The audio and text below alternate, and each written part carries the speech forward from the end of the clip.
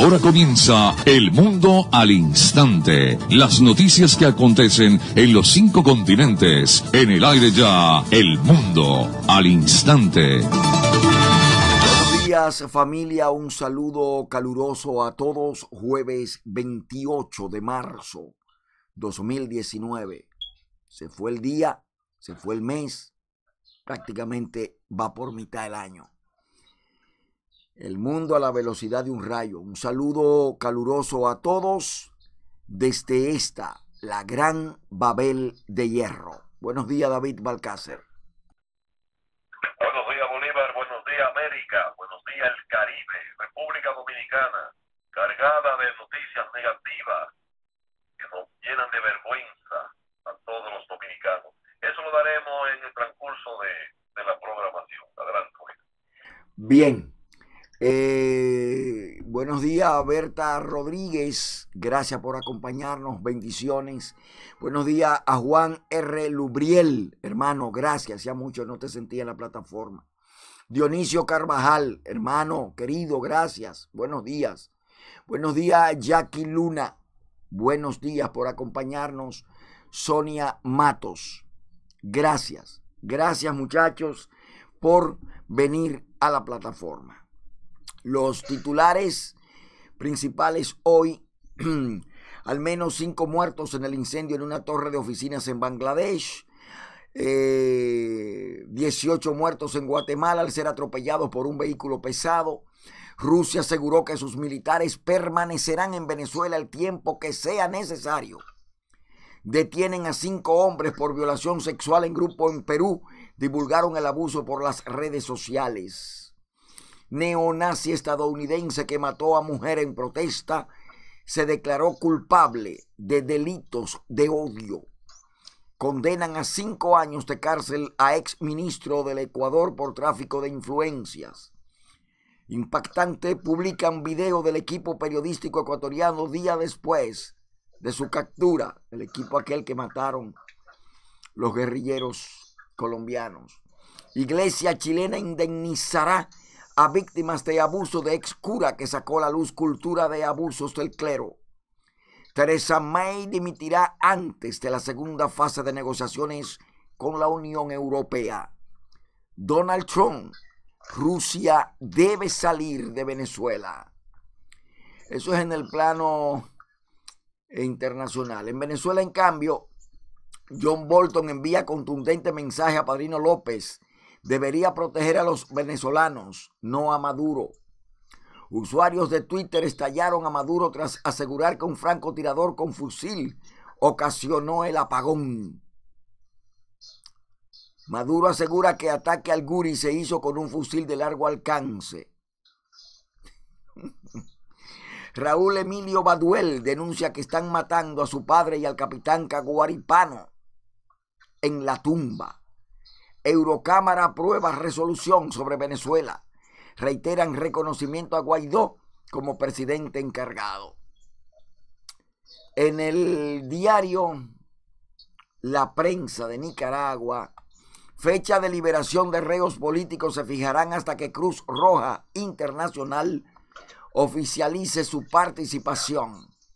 Hemos aguantado hambre, muchas veces nos ha tocado dormir en la calle Refugiados en Costa Rica, el drama que poco se cuenta en Nicaragua. Régimen orteguista aplica un silencio, aumento en la tarifa de energía eléctrica. Reprograman juicios contra presos políticos Amaya Copens y Ricardo Baltodano. En Rusia, eh, RT, la agencia de noticias en español de Rusia, trae como titulares esta mañana, ni Rusia ni Venezuela son provincias de Estados Unidos. No es un país. Trump se refiere a Venezuela como una compañía. Estados Unidos afirma que China ofreció concesiones sin precedentes en las negociaciones comerciales. España debe disculparse con México por los abusos durante la conquista. La escalada de tensión entre Israel y Gaza Esas y otras noticias están siguiendo el diario RT de Moscú. En cambio, aquí en Nueva York denuncian alza de hacinamiento en salones de escuelas públicas de New York. Eh, presentan nueva iniciativa para combatir crímenes de odio en la Gran Manzana. Doctor en juicio por matar a bebé y torturar a amante sigue viendo pacientes. New York City no se había enterado. Trump recibió a la esposa de Guaidó en la Casa Blanca, cerrando sequía diplomática de más de 20 años. Se introduce 70 bolas magnéticas por el pene y hay que operarlo. Cerca de 4.000 inmigrantes legalmente en Estados Unidos a un paso de la deportación por decisión de Donald Trump. Codex realiza evento de forma magistral anoche en el Alto Manhattan. Esas y otras noticias se ventilarán y se ventilan en la mañana de este jueves en la Gran Manzana y el mundo. Adelante David con lo que pasa en Dominicana. Desmantelan red de trata de personas para llevar gente a los Estados Unidos. La banda cobraba desde 22 mil a 27 mil dólares a los indocumentados. La reoperaba a nivel nacional. Están involucrados oficiales de migración y oficiales de la seguridad dominicana. Elementos criminales extranjeros también hacían sus operativos en esta nación. Bueno, el descubrimiento de ese grupo de mafiosos que se dedicaba a preparar viajes ilegales a los Estados Unidos también ha contribuido de que esa de que el consulado de esa gran nación esté restringiendo la expedición de visa a los dominicanos. Fuimos testigos de que un 90% de la visa en República Dominicana en los últimos ocho días han sido suspendidas. Suspendidas.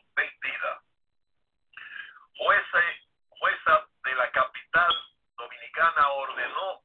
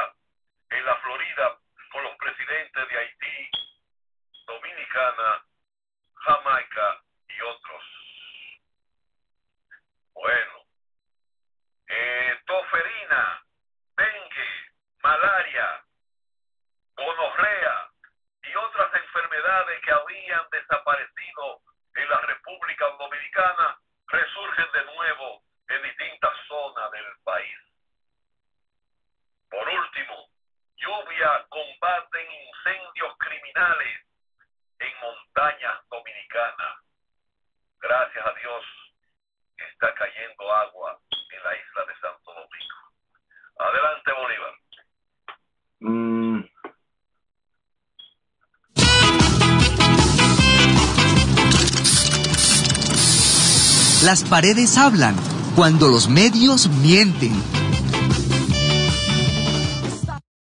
Cada día nos esforzamos por dar lo mejor de nosotros. En CTV Radio, siempre en tu corazón. Bien, gracias y buenos días también a Luis Cruz. Buenos días a Gisela Sánchez Ovalles. Eh, gracias por acompañarnos, Alba Álvarez. Buenos días, Miriam Mercedes, Mari Polanco. Muy buenos días a Ángela La Felicidad García. Eh, bacalao con papas y Pastora Noble. Gracias por acompañarnos. Eh, buenos días a Milenia Altagracia Ruiz. Comenzamos el programa ya en directo con el resumen de la voz de la ONU. El enviado especial para el proceso de paz en Oriente Medio ha condenado el lanzamiento de un cohete desde Gaza a Israel, que ha herido a siete personas. La ONU está en contacto con las partes para intentar evitar una escalada de la violencia. Nikolai Mladenov ha asegurado en su cuenta de Twitter que el lanzamiento del cohete es inaceptable y supone un incidente muy serio. La ONU asegura está trabajando intensamente con Egipto y todas las partes, pero la situación es muy tensa. Según informaciones de prensa, el ejército israelí ha desplegado tanques y más tropas en la frontera con Gaza y el primer ministro Benjamin Netanyahu, que se encontraba en Estados Unidos, ha adelantado su regreso a Israel. Desde Washington, Netanyahu dijo que Israel responderá con fuerza. Bangladesh quiere recolocar a 100.000 refugiados rohingyas desde el campamento de Cox's Bazar a una isla que ha estado habilitando en los últimos dos años. La ONU está en contacto con el gobierno para asegurar que los refugiados no son trasladados antes de que se den las condiciones adecuadas. En un comunicado, la ONU en Bangladesh asegura que están debatiendo con el gobierno asuntos de protección y operativos cruciales que se tienen que considerar antes de que ocurra cualquier traslado. La ONU ha pedido aclaraciones sobre las modalidades de traslado, condiciones de vida y los servicios a los que tendrían derecho los refugiados si deciden ir a la isla. Además, Naciones Unidas quiere conocer de antemano qué acceso tendrían las agencias a esos campamentos. La viabilidad de cualquier traslado y la posibilidad de establecer una operación humanitaria en la isla requeriría una evaluación exhaustiva dice el comunicado. Por último, la ONU remarca que los traslados deben ser siempre voluntarios, los refugiados deben contar con toda la información y se tienen que escuchar sus preocupaciones. Los supervivientes del ciclón Irai en el sudeste de África se enfrentan a una bomba de relojería en forma de enfermedades, ha advertido la Cruz Roja Internacional en una conferencia desde la sede de la ONU en Ginebra. El ciclón Idai azotó la costa de Mozambique hace 10 días con vientos huracanados y lluvias que han causado inundaciones de hasta 10 metros de altura. Más de 700 personas han muerto en Mozambique y Zimbabue. Aunque las agencias humanitarias llevaron de inmediato ayuda de emergencia para los afectados, el director de la Federación Internacional de la Cruz Roja dijo que las condiciones siguen siendo muy precarias.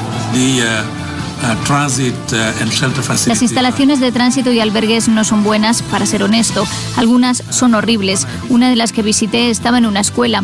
3.000 personas en una escuela de 15 aulas y la misma escuela se había inundado y solo había seis inodoros para todas esas personas. Así que no exagero al decir que estamos ante una bomba de relojería por las condiciones del agua, saneamiento e higiene. Hay un alto riesgo de enfermedades que se transmiten por el agua como el cólera y el tifus, además de la malaria que es endémica en la región. La ONU recuerda a las víctimas de la trata de esclavos para rendirles homenaje, pero también para crear conciencia sobre los peligros del racismo y los prejuicios de la actualidad. El secretario general asegura que nunca debemos olvidar los crímenes ni sus repercusiones en África y en el resto del mundo a lo largo de los siglos para aprender las lecciones y tenerlas en cuenta hoy en día.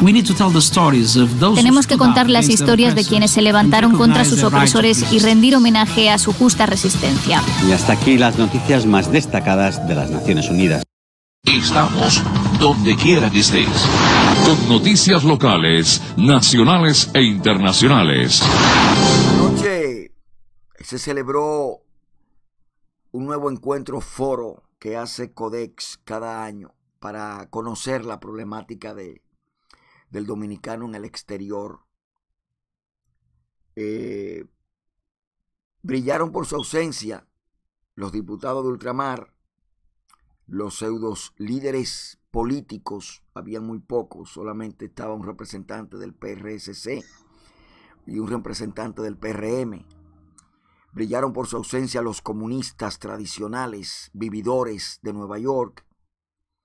Brillaron por su ausencia los dominicanos buscabotos, eh, funcionarios de origen dominicano de Nueva York, entiéndase Idanis Rodríguez, la asambleísta, eh, el congresista Y lo mejor de todo que no enviaron representantes, porque ellos son sabelotodos y omnímodos. Brillaron por su ausencia figuras de primer orden. En fin, brillaron por su ausencia gente que uno pensó que podía ir y que algunos le habían dicho a Máximo Padilla que estarían presentes, pero a ellos no le importa la comunidad.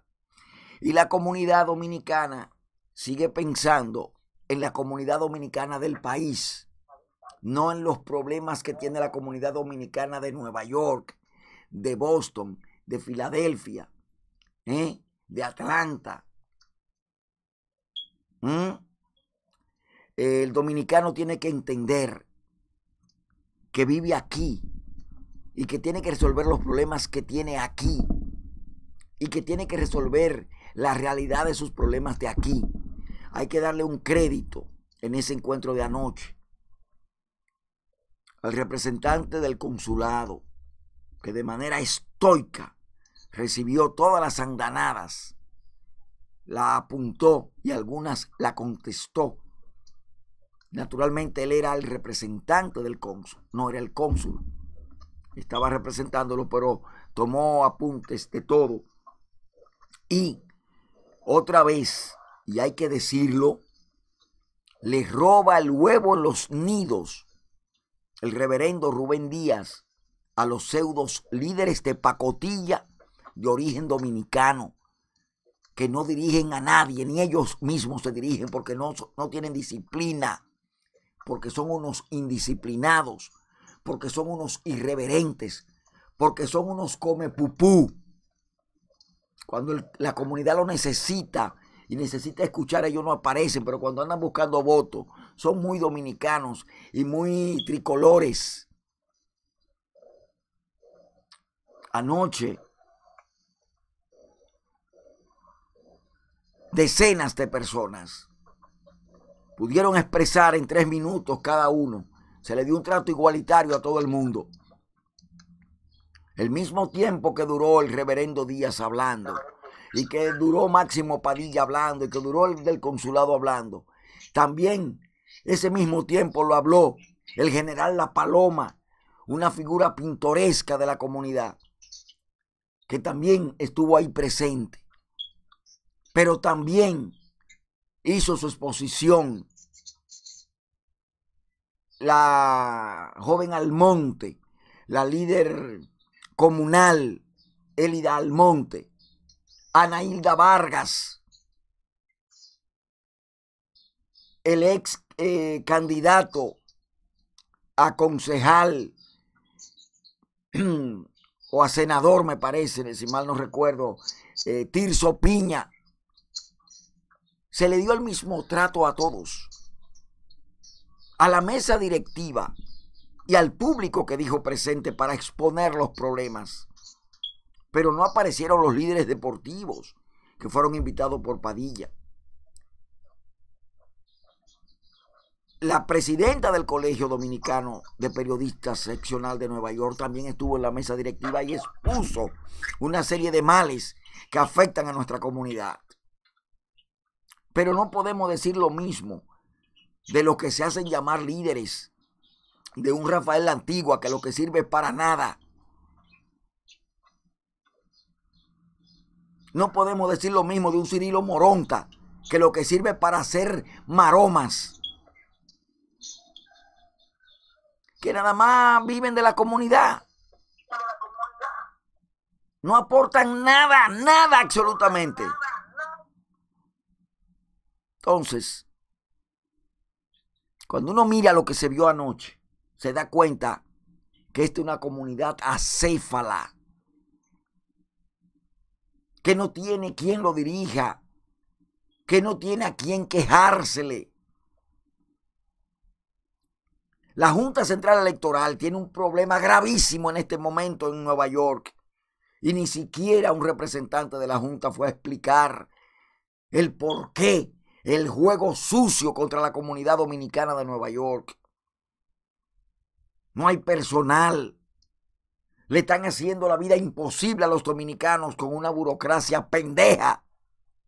Y como decía Elida Almonte, hasta para ponerle un acento a una acta de nacimiento, da problema y hay que pagar. Porque es un grupo de come mierda lo que tenemos como líderes en Nueva York. Gente sin principios, sin moral. Gente que se creen megalíderes. Igual que anoche vi una cantidad de gente que aún habiendo un cronómetro marcando el tiempo, querían estar por encima de todo porque hay un ego del diablazo. Todo el mundo se cree megalíder. Todo el mundo se cree con el poder de decir cosas, a veces hablando, eh, eh, haciendo exposiciones insulsas. Yo vuelvo y le repito a los dominicanos que viven en esta, en esta gran ciudad, hágase ciudadano, hágase ciudadano porque estamos solos. Estamos solos. No tenemos quien nos defienda. No tenemos quien hable por nosotros. Yo creo que este va a ser el último evento de Máximo Padilla que yo participo, porque es una perdedera de tiempo. Se habla, se habla, se habla y al final no se logra nada. Porque si los que tienen que escuchar no escuchan, cuando se mandan los documentos con las exposiciones y con todo lo que se establece, nadie hace caso en Dominicana porque los rompen los papeles. Tenemos que aterrizar, es aquí que vivimos. El dominicano de allá no le importa si nosotros pasamos hambre, si nuestros muchachos caen presos, si están delinquiendo. Al dominicano de allá no le importa la realidad de lo que está viviendo el dominicano de aquí. Cuando vamos allá nos maltratan y eso está demostrado. Todo el que quiere dólares viene de Santo Domingo a Nueva York a inventar vainas. Comenzamos con los políticos y terminamos con una serie de gente que inventan eh, eh, complejos habitacionales y terminan robándose los chelitos de uno y terminan engañando a uno. Y, y, en el peor de los casos, hasta se roban las cédulas y los documentos de uno allá y alteran las actas para venta de, de, solares y de viviendas. Y con el mismo cliché de años. ¿Cuándo viniste? ¿Qué me trajiste cuando te vas? y el dominicano de aquí todavía no aterriza. Resolvamos los problemas adentro, porque los de afuera están resueltos. El gobierno dominicano habla de que ha sacado que ha sacado millones de gente de la pobreza. ¡Mierda! Millones hemos sacado nosotros con la remesa que mandamos. Porque el gobierno no puede presentar un solo dominicano de a pie que lo haya sacado de la pobreza a no ser el grupo de ladrones que llevó Lionel al palacio y que siguen con Danilo Medina robándose los cuartos del pueblo y no pueden presentar documentos que, que den eh, fe de cómo han logrado sus fortunas. Sin embargo, miles, millones de dominicanos son mantenidos por el dominicano del exterior. Si no fuera por las remesas que nosotros mandamos, millones de dominicanos murieran de hambre dentro del país. Y nosotros no recibimos nada, nada. Nosotros pagamos 150 dólares de impuestos por cada, por cada vuelo que, va a Dominicana, porque no nos tratan como dominicanos, sino como turistas y nos han desangrado. Y usted va a un maldito foro a hablar mierda de la República Dominicana cuando tiene problemas aquí.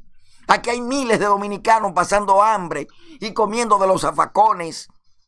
Aquí hay miles de dominicanos presos y nadie le presta atención.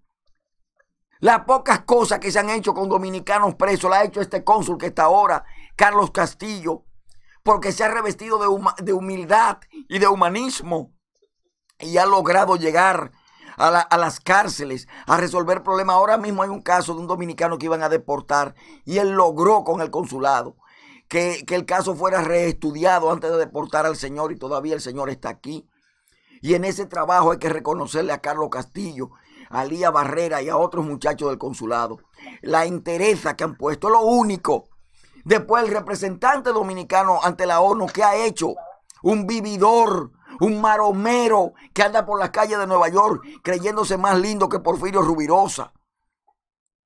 Entonces, nosotros los dominicanos de aquí, los que estamos fuera, tenemos que entender que el problema de nosotros tenemos que resolverlo adentro y después del país. Porque el país no nos agradece ni nos va a agradecer nada. Además, usted tiene que aterrizar. Miles y miles de dominicanos se han ido de retirada de Nueva York a Dominicana. Y a los cuatro meses tienen que estar aquí porque allá lo explotan. Le sacan la hiel. Entonces usted no puede estar en, en un principio de estampida. Estoy en Nueva York pensando en Dominicana y estoy en Dominicana pensando en Nueva York. Desconecte su cerebro y aterrice. Usted sabe que nació allá, pero usted no sabe si va a morir aquí, en Argentina, en Alemania, en China, en Rusia, en Colombia, en Guatemala. Entonces, cuando se haga un foro, usted no puede ir a privar en que usted es un, un todo. Tiene que entender que los problemas de su casa son primero de su casa y después los del vecino. Con todo lo que pasó anoche, que ninguno de estos babosos fueron. Y después vienen a hablar en la radio, en la televisión, en los periódicos de Nueva York y no aportan nada. Con todo y eso, hay que darle la gracia al reverendo Rubén Díaz. Darle la gracia al reverendo Rubén Díaz porque al menos motivó, no solamente con, con la plegaria cristiana que emitió, sino que motivó a los presentes a que luchemos como dominicanos, que nos unamos más como dominicanos sin importar si nos respetan los políticos o no vernos como comunidad dentro de la ciudad de Nueva York. Eso hay que agradecérselo al reverendo Díaz. Hay que agradecerle también al joven del consulado, al vicecónsul que envió el cónsul, por la interesa que tuvo y a varios muchachos más líderes que vinieron de otros sitios. Pero tenemos que aterrizar, darle un voto de confianza a Máximo Padilla, que con todas las limitaciones habidas y por haber, al menos tiene el tupé de concentrar un grupo de gente en un club para que se desahogara. Y con ese desahogo, por lo menos, Máximo Padilla y el Codex le permite a uno darle un abrazo a un paquete de gente que hace años que uno no ve.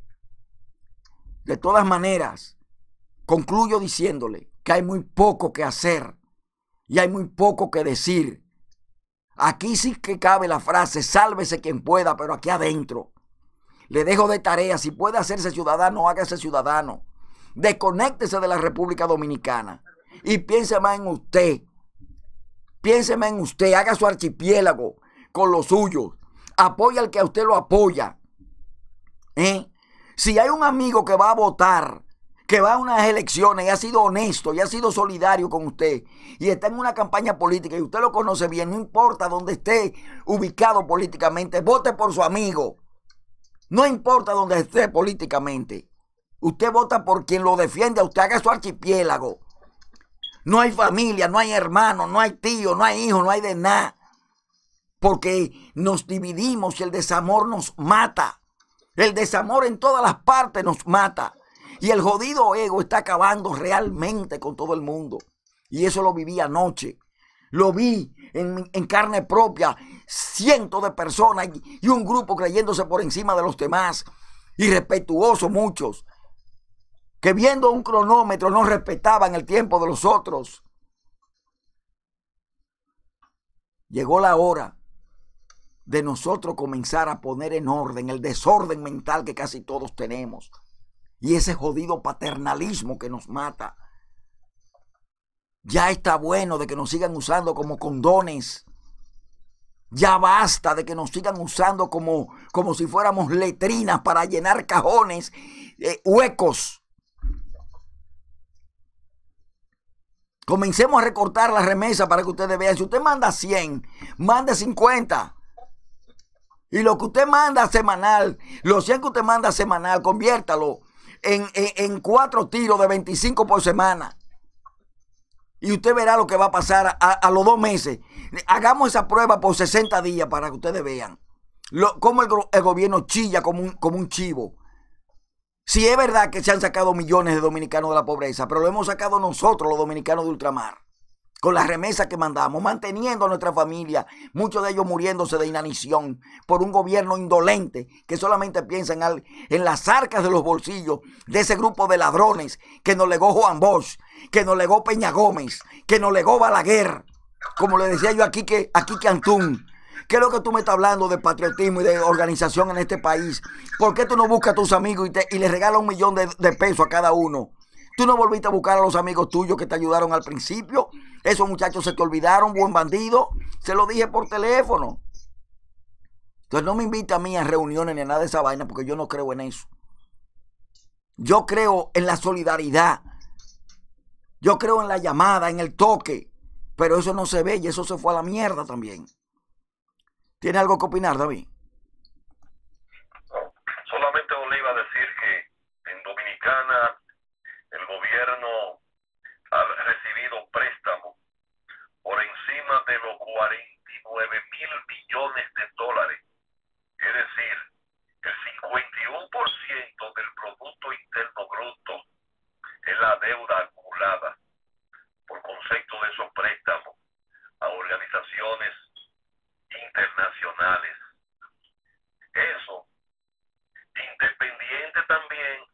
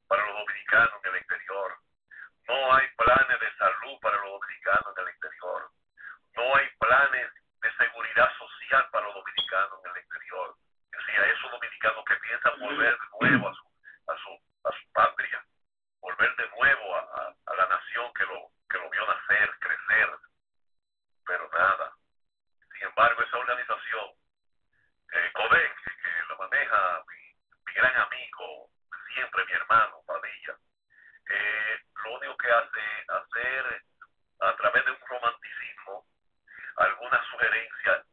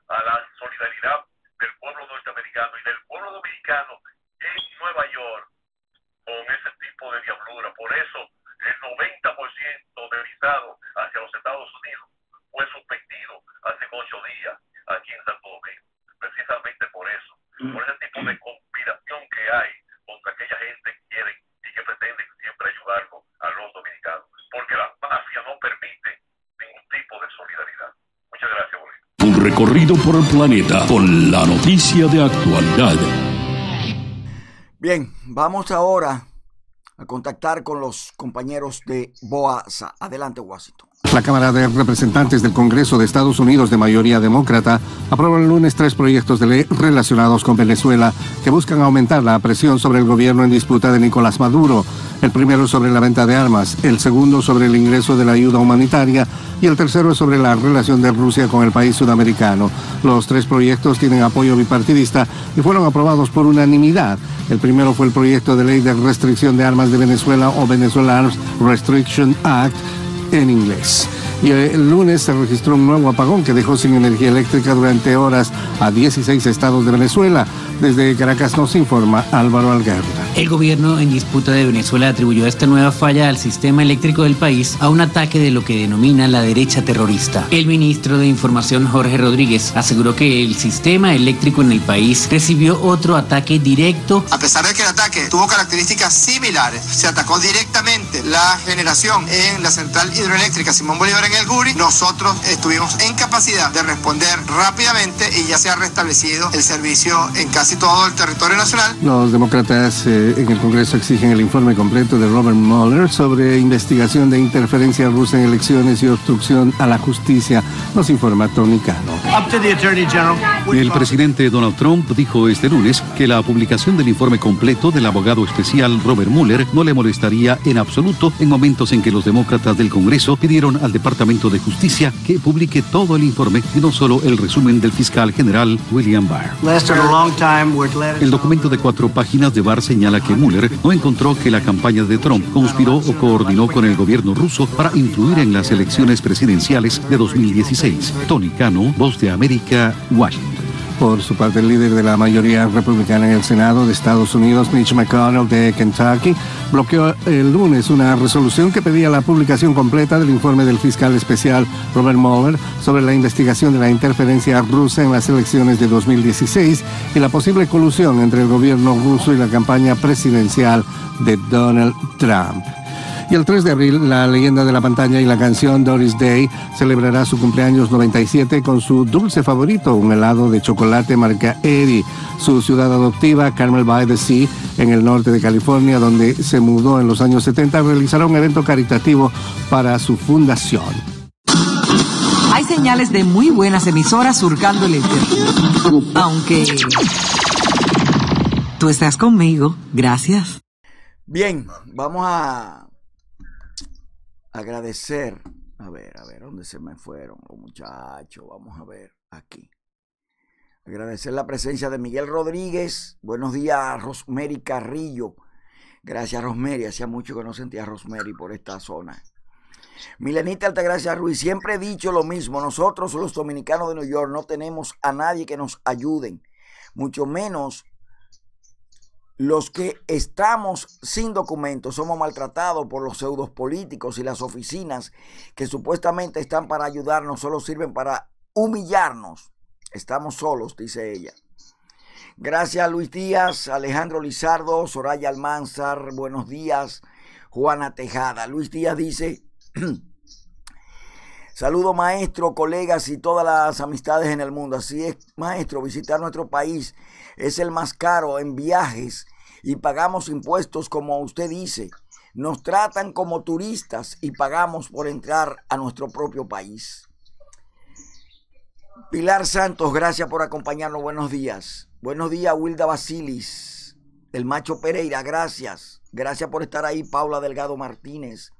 Ángel Grullón. Buenos días, maestro Grullón. Buenos días a todos. Gracias. Gracias por acompañarnos. Estamos en el mundo al instante desde martilloyclavo.com, Econews Agency, por YouTube, Facebook, Twitter, Instagram y toda una red a nivel mundial. Son las 9 y 40 de la mañana de este jueves 28 de marzo del 2019.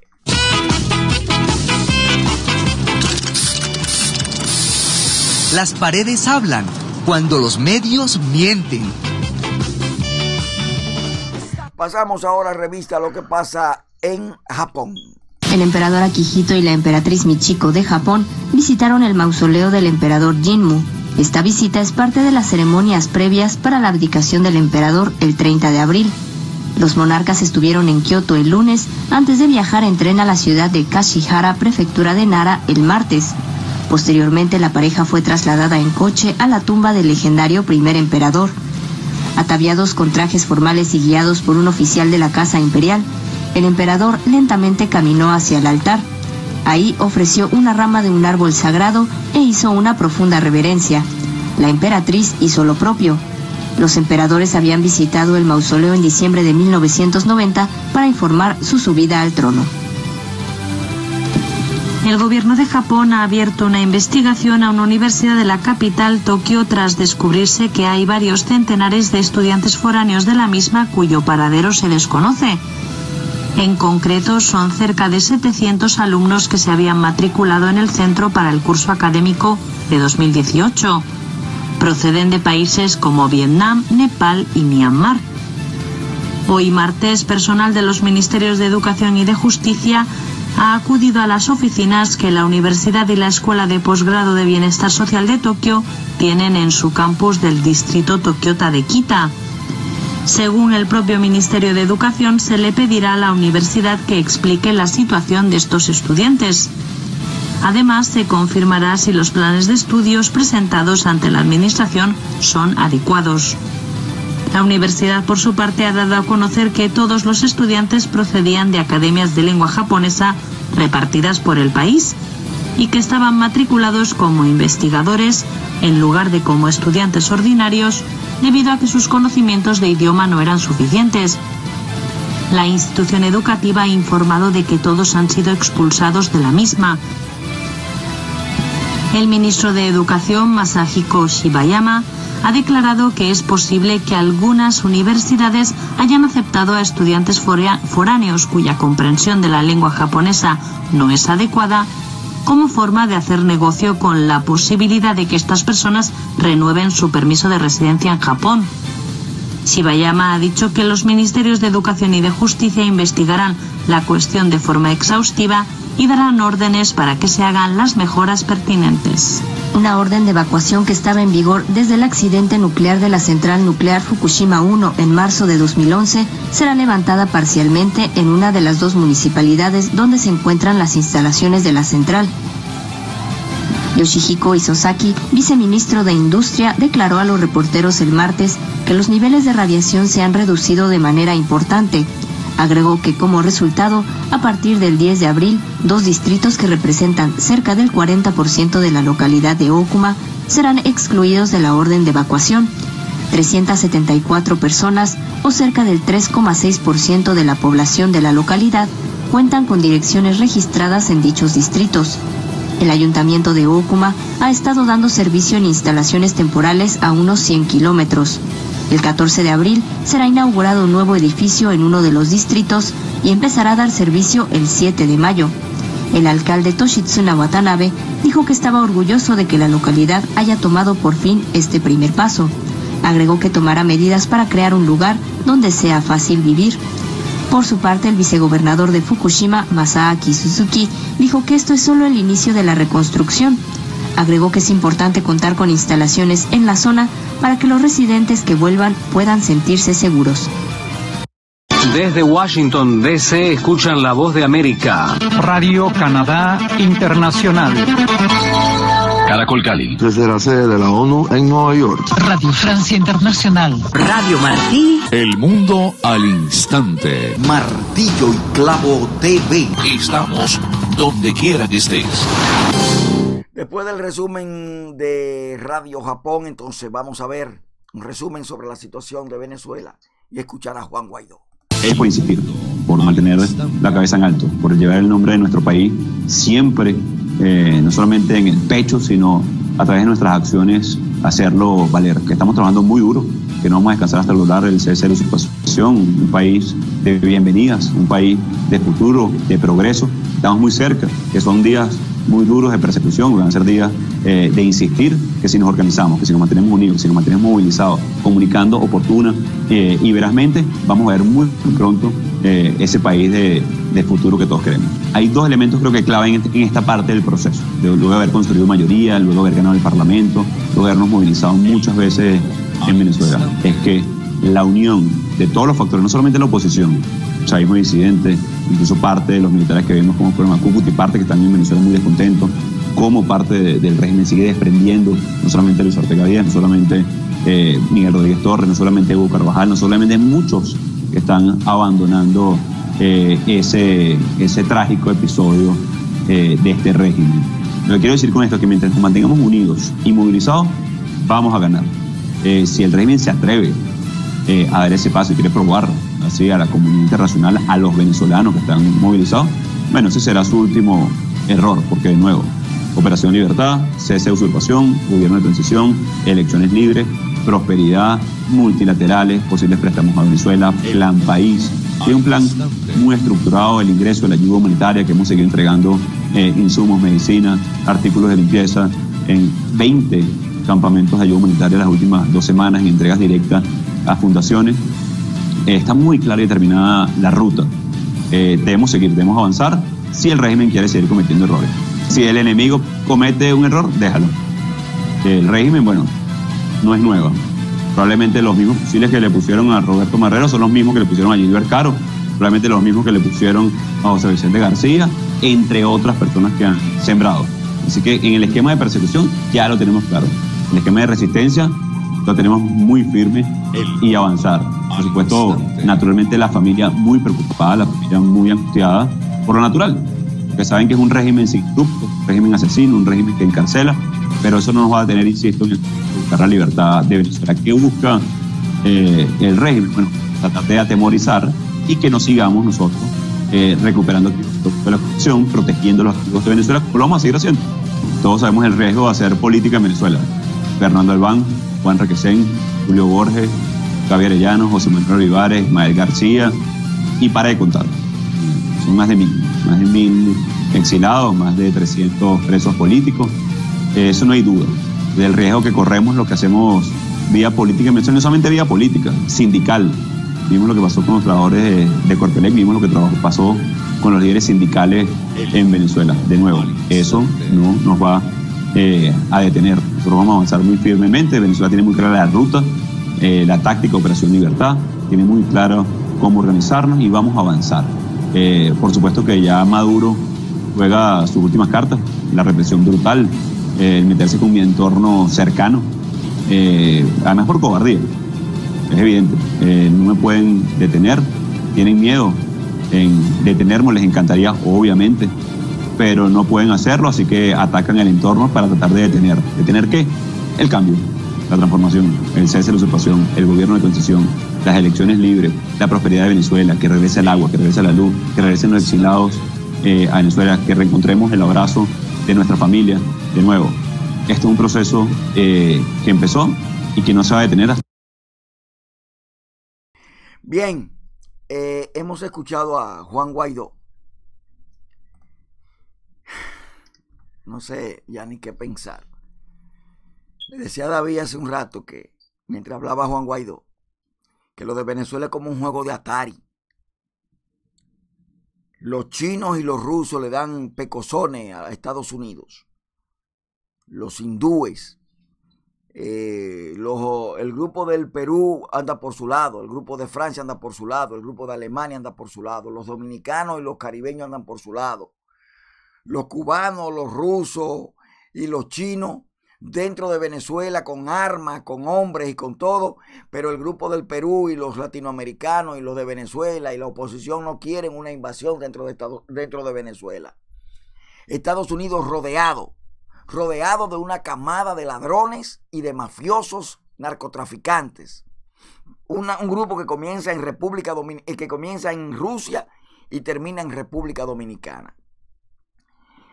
La India, Pakistán, la China, Rusia, Nicaragua, Bolivia, Cuba, Venezuela, Irán, parte de Irak, República Dominicana, rodearon a Estados Unidos. Está rodeado y habla y habla y habla y nadie hace nada. Mientras eso sucede, Guaidó, y lo acaba de demostrar ahora con el ataque con Molotov que tuvo hace dos días, y lo acaban ustedes de escuchar lo que él decía. Guaidó es retórica, retórica y retórica. En este momento que estoy hablando con ustedes, a las 10 menos 10 minutos de las 10 de la mañana, el ejército afín a Maduro está militarizando la casa de gobierno, Miraflores, para proteger a Maduro. ¿Por qué? Porque es un plan mediático un plan mediático. Cuba tiene miles de hombres dentro. Y no es verdad que Rusia tiene 100 soldados que entraron, eso no es verdad. Hay miles de soldados rusos ya adentro que han entrado a través de, a través de, de submarinos. Y en esos aviones y en otros aviones comerciales se lo han metido. Y los americanos lo saben. Y no van a hacer nada. A Guaidó lo van a matar y no van a hacer nada, ni los ni el grupo del Perú, ni los Estados Unidos, pero menos van a ser los amemaos líderes de oposición de Venezuela, que no se hace uno, incluyendo a Guaidó. No se hace uno, porque no han podido ponerse de acuerdo, porque son mequetrefes. Cada vez que yo miro los videos, bueno, de hecho yo estoy tratando de, salirme uno a veces no quiere hablar de Venezuela y tiene que hablar obligado, pero hay que irse saliendo porque ahí no hay salida. Cuando usted ve un paquete de soldaditos de plomo, ¿eh? y ni siquiera eh, eh, estas multitudes de gente en cantidades excesivas, ni siquiera botella con gasolina llevan en la mano. Ni siquiera eso. Y le están matando a los venezolanos uno por uno, uno por uno, uno por uno. ¿Eh? Y peor aún, en este preciso momento, ellos superaron, los venezolanos han superado a los judíos que andaban errantes. No, lo han superado. Solamente eh, Colombia tiene dos millones de venezolanos. Y nosotros tenemos, los dominicanos, tenemos casi 600 mil venezolanos adentro. Y la Florida ni hablar. Entonces son ya una peste que camina por donde quiera. Y no va a pasar nada en Venezuela, se van a consolidar.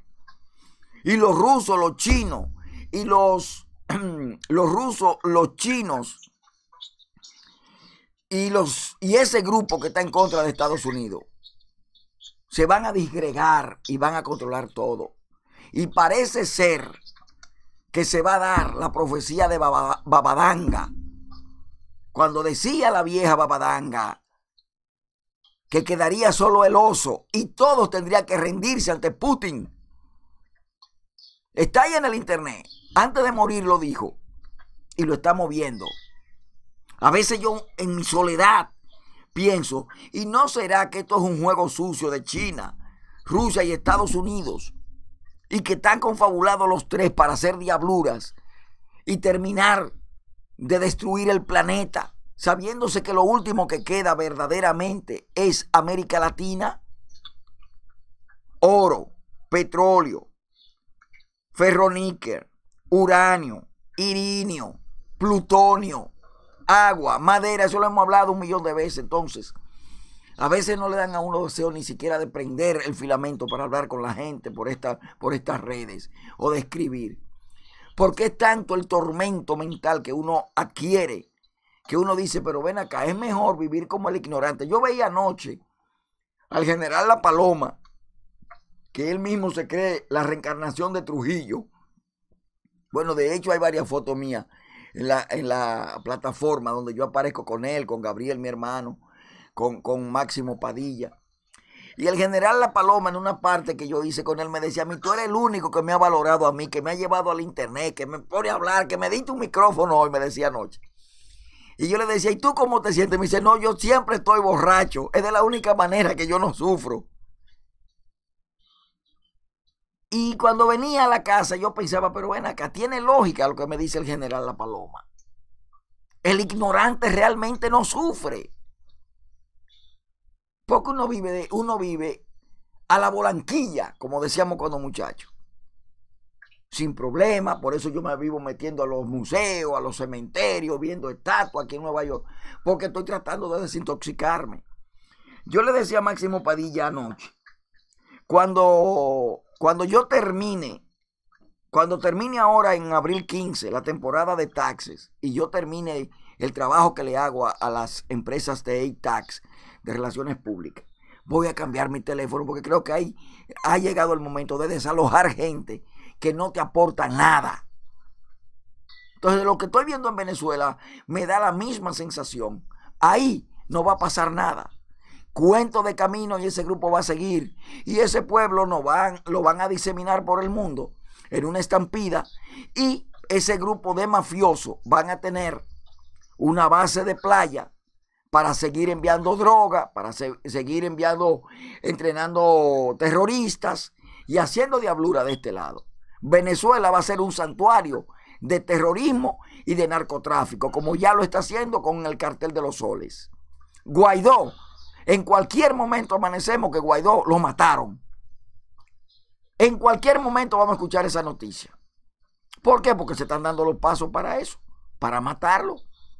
Y Guaidó políticamente le faltan muchos, muchos breteles. Muchos breteles. Aparte de que está solo, la oposición de Venezuela no tiene voluntad de tener voluntad. Adelante, doctor. Eso es verdad. No hay una voluntad política consolidada por parte de los supuestos opositores al régimen de Maduro y comparte. No la hay. Y prueba de eso es que en el terreno de la diplomacia internacional perdieron el pleito. Ahí está la Unión Europea con una actitud vacilante, media tinta con relación al caso venezolano. Ahí están los asiáticos por igual, los africanos, que ni dicen ni una cosa ni otra. En América Latina, un sinnúmero de coqueteo de noche con los gringos, de día, de día con los gringos, pero de noche con el grupo de Maduro. Eso es lo que hay, eso es lo que prima. Y mientras esto ocurre, entonces unos 400 o 500 soldados venezolanos que se prácticamente se han inmolado rompiendo Corozo y llegando hasta la frontera con Colombia, hoy en día esos disidentes al régimen de Maduro son maltratados, son aislados, son excluidos de algunas cosas que son necesarias para ellos poder hasta subsistir en Colombia, en la frontera colombio-venezolana. En vez de alentarlo, en vez de protegerlo y en vez de entusiasmarlo más en la recuperación de su país, para que otros soldados que están también, eh, que se sienten incómodos con el gobierno de Maduro, hagan lo mismo que ellos hicieron. Sin embargo, no se ve una voluntad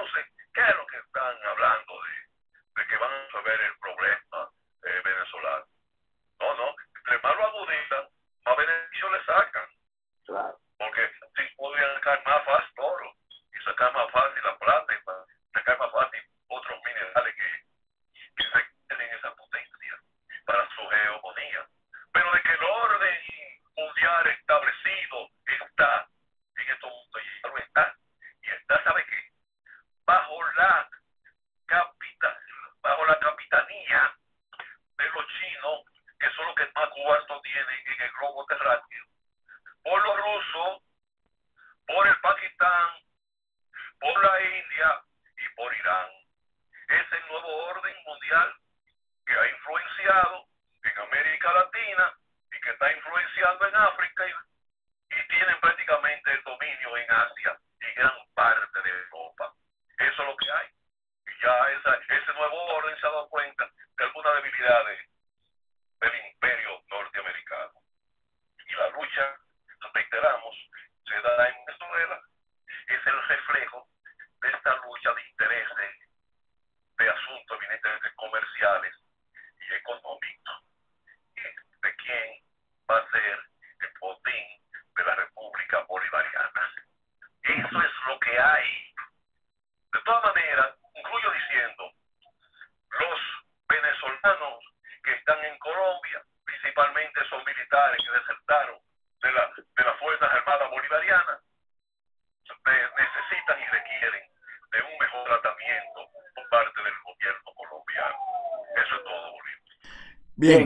Final del día, final del programa. Gracias Natalio Martínez, Jenny García y Paula Delgado Martínez. Al macho Pereira, maestro, observó que ese apoyo de esos países solamente simbólico para Venezuela, solo Estados Unidos le ha aplicado ciertas sanciones. Eso es cierto.